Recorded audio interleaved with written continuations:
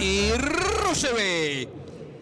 Ornella chce wydostać się na czoło stawki i jest bardzo blisko temu. Po zewnętrznej Korio i prowadzi stawkę Ornella na drugiej pozycji Rebella, trzeci mój Złotki, na czwartej Korio, na piątej comeback Szumawa i na ostatniej Carinthia i do celownika zostało jeszcze 850 metrów. Ornella na czele, Rebel na drugiej pozycji, trzecia, czwarta, piąta, szósta pozycja. Konie galopują mocno, mocno zgrupowane na ostatniej pozycji. Carinthia w mocnym posyle prowadzi Ornella, Rebel, a na trzeciej pozycji Korio, na czwartej comeback Szumawa.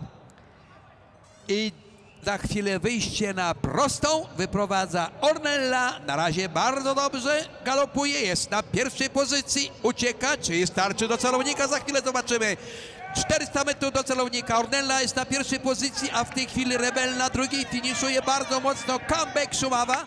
Ale Ornella utrzymuje pierwszą pozycję, ale stopniowo zaczyna słabnąć. Jest tam Korio oraz comeback Szumawa razem. Kam o, Korio, Korio atakuje bardzo mocno Ornella. Korio jest na pierwszej pozycji, wygrywa tą gonitwę na drugim miejscu. Mój słodki Ornella, comeback Szumawa razem bardzo blisko będzie foto o drugą pozycję.